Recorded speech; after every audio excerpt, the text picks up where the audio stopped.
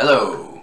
Sorry for the probably worse audio quality of this. Uh, my mic stopped working for a second.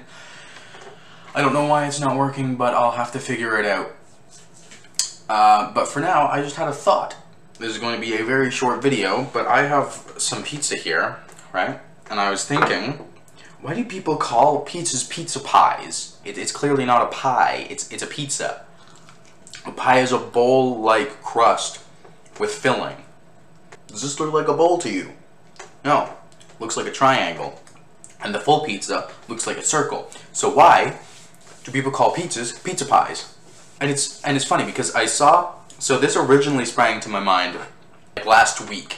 I saw a, an Instagram post on like some pizza thing.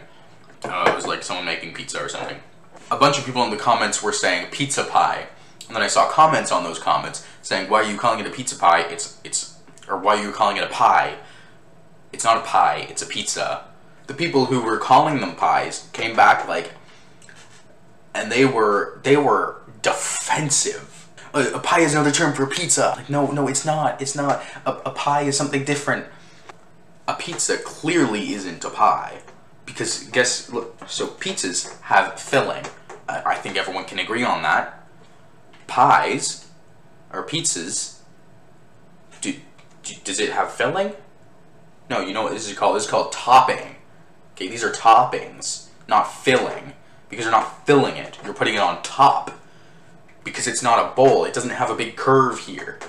Those big, like, super thick, like, round pizzas, sure, like, you know, with the crusts that go like that, sure, that's, that's, like, debatably a pie.